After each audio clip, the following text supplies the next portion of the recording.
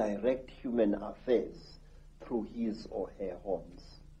It's also interesting that you know, the, the descriptions of the Chitauli um, with the, the horns and the, sometimes the tail and stuff is very, very close to how uh, Christians and uh, those sort of stories have depicted the devil.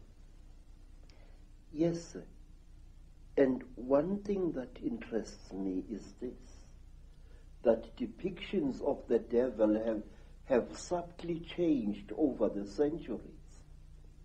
But there is a difference now.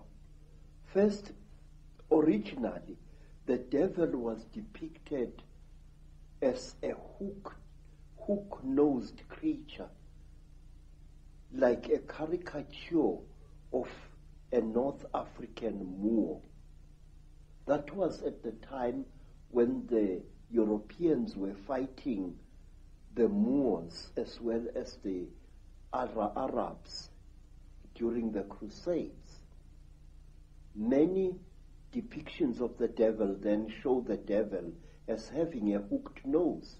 And then later, somewhere in the 19th century AD, the devil was depicted as an African with a snub nose, thick lips, and very dark skin.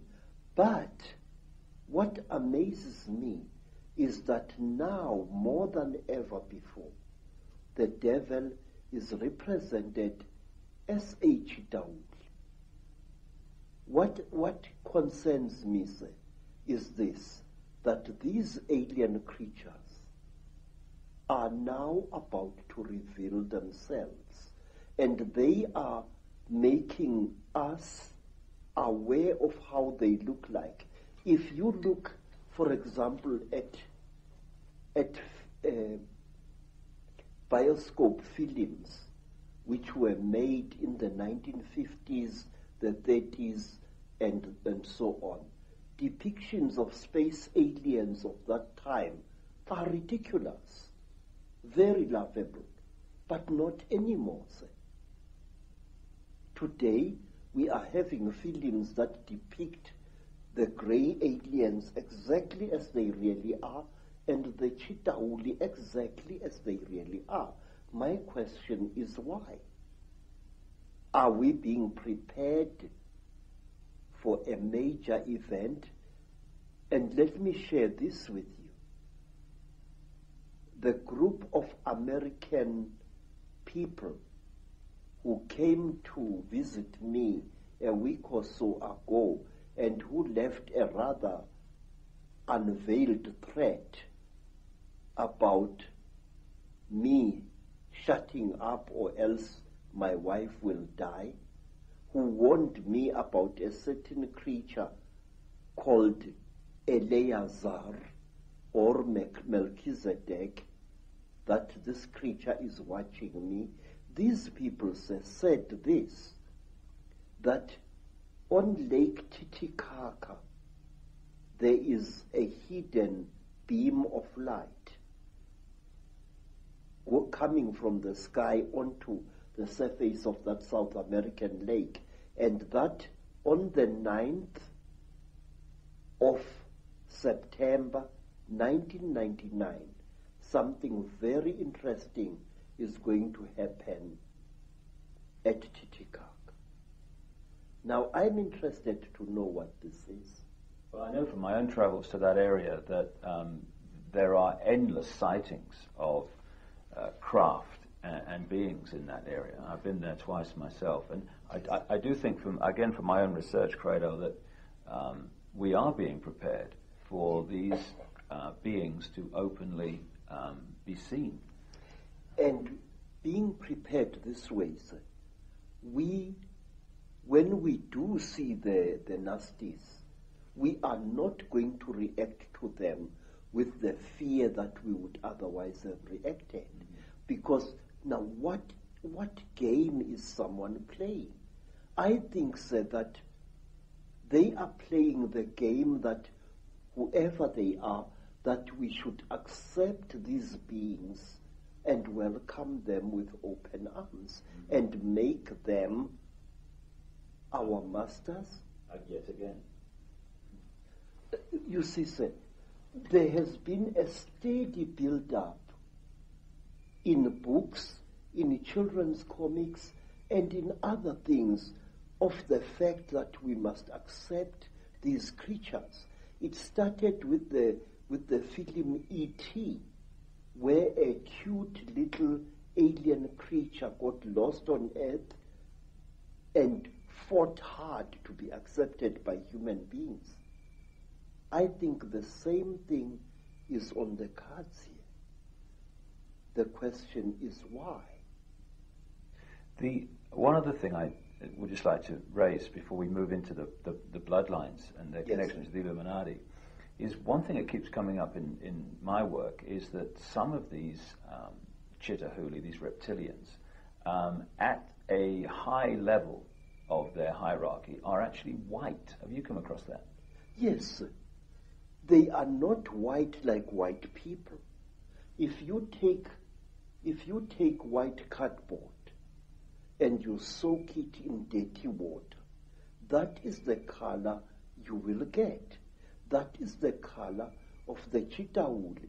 And wait, sir, let us think carefully about this.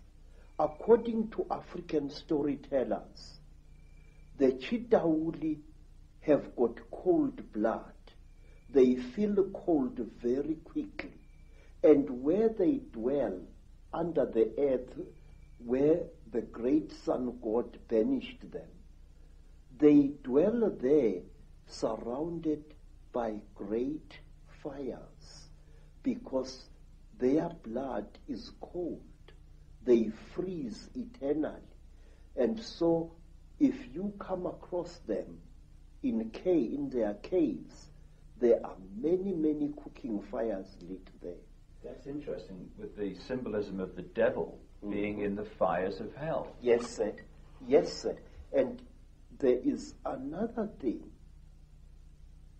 The the the Chitauli, they their eyes, terrible as they are, are so efficient that if a Chitauli appears suddenly into the hot African sunlight, two things happen to him. His skin dries and blisters, and he goes totally blind. In fact, there have been a strange race of aliens which have been seen in Africa, even by white people, which I think are actually Chitauli. When you that you run and the thing chases you, it stops immediately when a car's headlights hit it and it becomes blind. Another thing, sir, we are told amongst our people that a sangoma must always have a bogo. This is a sharpened wooden stick which he or she must carry at night. We are told that a sharpened stick is the only weapon by which you can kill a chitauli. Well, of, course, again and again as you speak, uh, what comes to mind is the story of Dracula, Count Dracula, the stake in the heart, the blood drinker, the, the blood drinking, uh, which is precisely uh, what this uh, Chitauli and their crossbreed seem to be into. But it is not just any wood that you must use against a chitauli. We believe that Rhodesian teak, a wood which has got a strange bitter taste, is the one type of wood that is poisonous to the chitauli. And down there, you see a long stick that I am carving in preparation for the year 2000. I might not be alive to see the year 2012, but